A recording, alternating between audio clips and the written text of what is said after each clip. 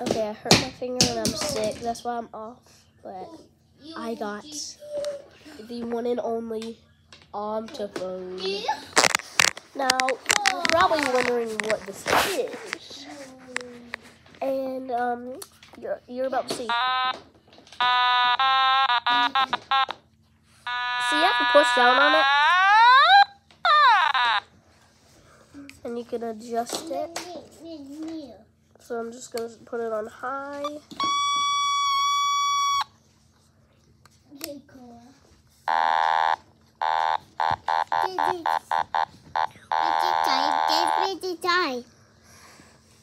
So it has a little speaker in it.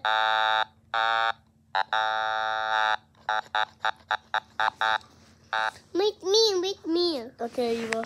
So Eva, let me get you. You squish down on it.